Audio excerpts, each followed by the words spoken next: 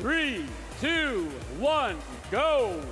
In the face-off of three in red versus six in blue here on Archimedes, presented by Kettering.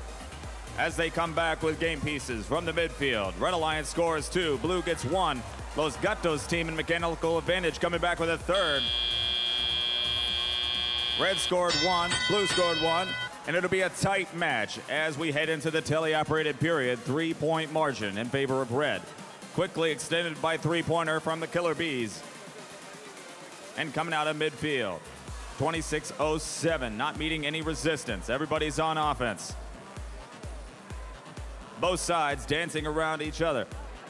Bringing game pieces back home, Mojo from Connecticut scores up top for five. The Alliance captains heading back for more. Red Alliance holding on to a 10 point lead. Beak Squad puts up another 10 for Red. Robo Vikings puts one down low as they try to fill this grid as fast as possible. Red Alliance already has three links. Blue has two. 85 seconds for play. Mechanical advantage out of Littleton.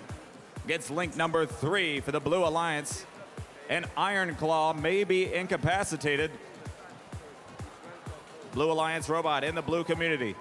Their partners will come in. Cones in hand, working around the down partner.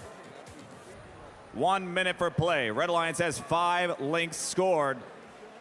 Here comes Killer Bees to complete the sixth. And fighting Robo Vikings to get number seven. 30 point difference, and 972 is back in action. 30 point margin in favor of red. It's anybody's game still with 40 seconds left. They get right back to work. And now we're in endgame. Mojo racing back, colliding with the freshly awakened partner 972. 20 seconds, and Red Alliance has almost filled up the grid. Here's 33 with link number nine. Full grid on red. Beak Squad gets first and second supercharged node.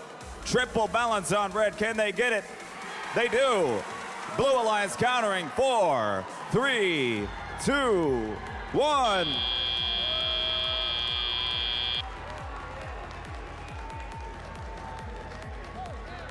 Even 200 points here on Archimedes. The Blue Alliance 163.